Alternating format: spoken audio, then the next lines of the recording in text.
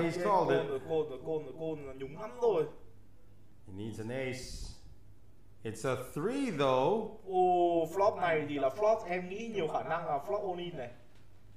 Yeah. Ừm, nếu như mà anh Trường fix anh ờ, Phương vào ASK, AS10, ASX thì AS3 của anh Trường Linh ở đây đang cực kỳ tốt.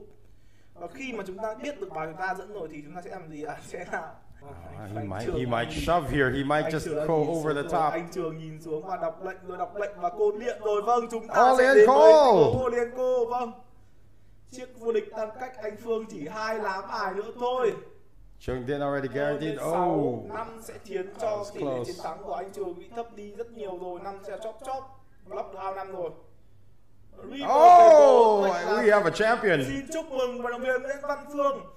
Chúng ta đã tìm ra được nhà vô địch của World Poker Champions.